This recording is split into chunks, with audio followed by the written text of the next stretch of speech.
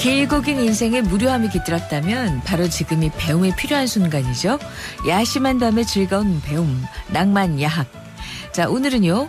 교육문화 기획자이시고 문화 카페를 운영하고 있는 박보경 대표를 모시고 2020년을 잘 마무리하는 방법에 대해서 얘기를 한번 나눠보겠습니다. 어서 오세요. 반갑습니다. 네, 반갑습니다. 네.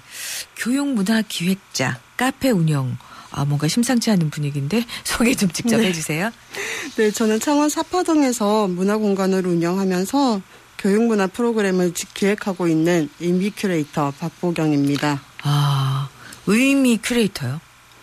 예, 큐레이터 하면 보통 미술관 같은 데 가야 만날 수 있는 직업인데 의미를 큐레이터 한다. 정말 어떤 의미예요?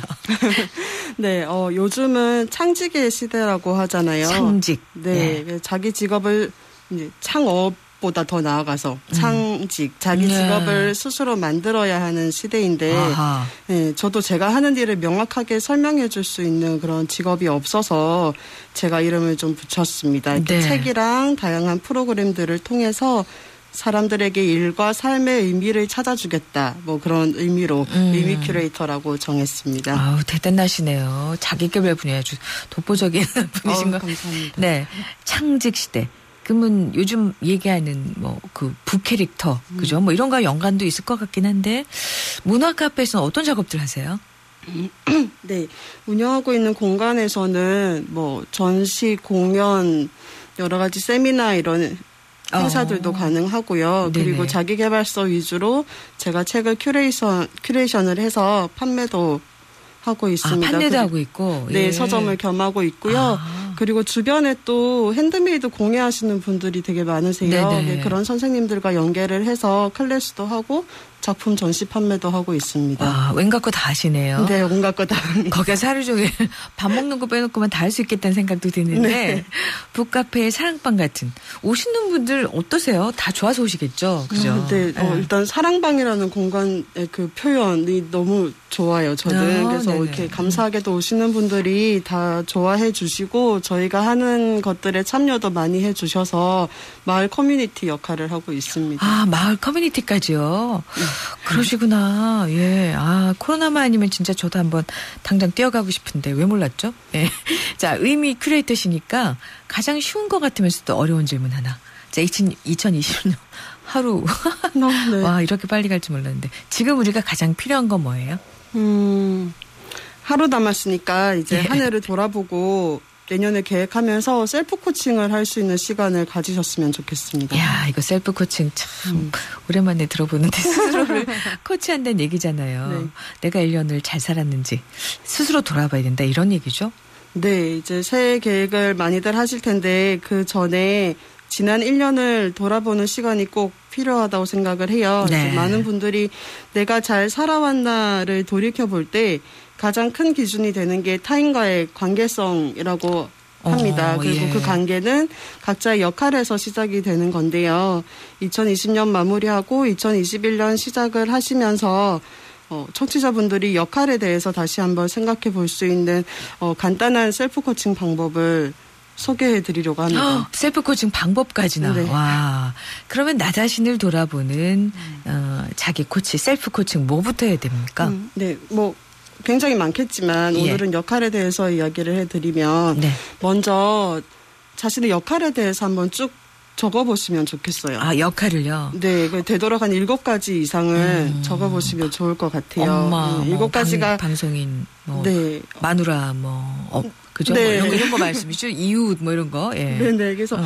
이렇게 막상 쓰라고 말씀을 드리면 일곱 가지가 많다고 생각하시는 분들이 많던데요. 예.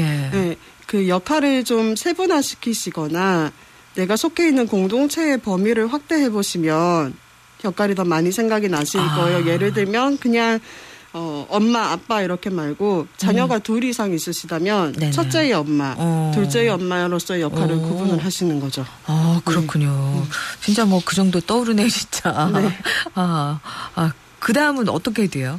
음, 그 다음은 그 오크 양동이 아시죠? 오크 양동이가 뭐예요? 그 작은 그 나무 판자들 엮어가지고 만든 양동이. 아, 저는 오크 그러니까 뭐 맥주 만드는 거. 어, 네, 그, 비슷해요? 옥구통도 네. 괜찮고요. 아, 이제 예. 옥구통을 양동이 모양으로 만든 아. 그 양동이를 지금 상상 속에서 만들어 보실 텐데요. 아, 제가 상상으로 해볼까요? 네네 네. 이제 그걸 만드시는 겁니다. 네. 이제 그 역할을 먼저 몇 가지 생각을 하셨잖아요. 네네. 그 역할들 중에서 비중이 큰 거는 너비가 이렇게 넓은 판자가 되는 거고 음, 네. 비중이 좀 적었다 싶은 거는 좁은 판자가 되어서 이렇게 엮어가지고 양동이를 한번 만들어 보세요. 아, 양동이를요? 네네. 네.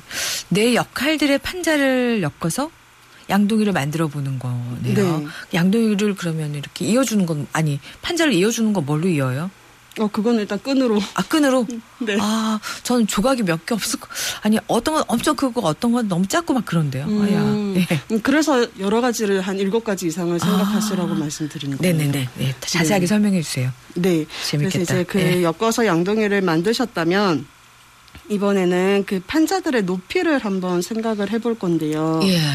네, 2020년 한 해 동안에 내가 완벽하게 한 역할의 판자는 높이가 높을 거고, 네. 그럴, 네, 뭐 생각이 나시는 아, 예, 역할이 예. 있으신가요? 예, 예, 예. 네, 그렇지 못하고 내가 조금 만족을 못한다 하는 역할의 판자는 높이가 낮을 거예요. 근데 와. 여기에서 비중이 크다고 해서 높이가 높고 비중이 작다고 해서 높이가 낮은 게 아니고요. 예.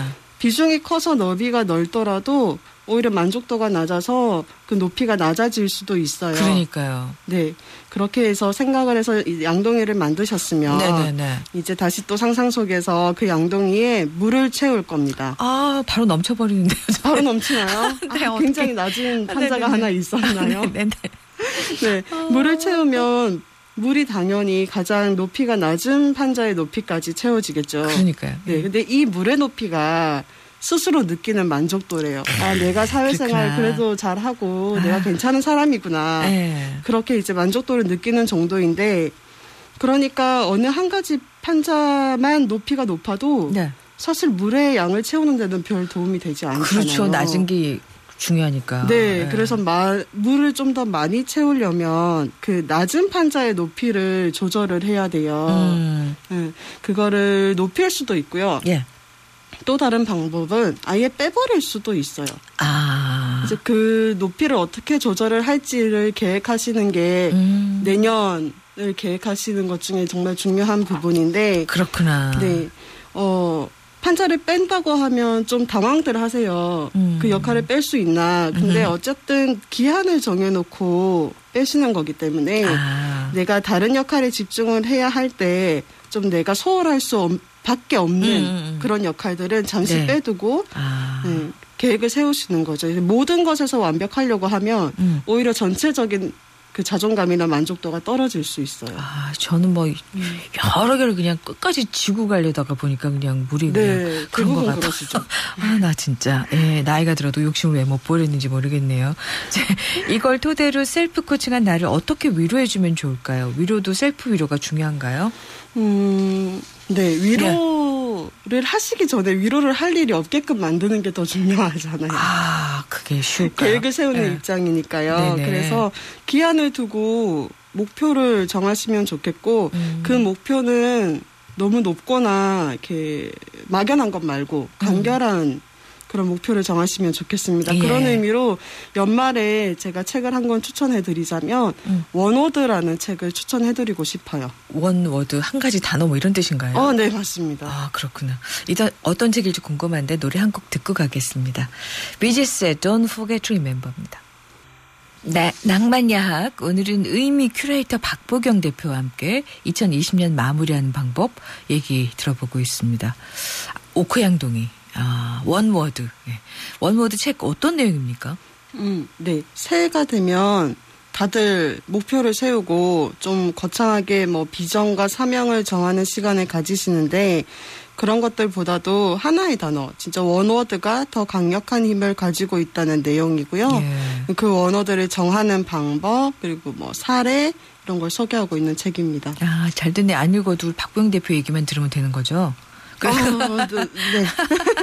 그럼 나만의 원워드는 어떻게 정할까요? 음, 먼저 충분히 생각할 시간을 확보를 하고 예. 정하셔야 해요. 그냥 One Word라고 했을 때 그냥 좀 어, 좋아 보이는 단어. 네, 어, love, 네, 섹시 아니면 어, 예.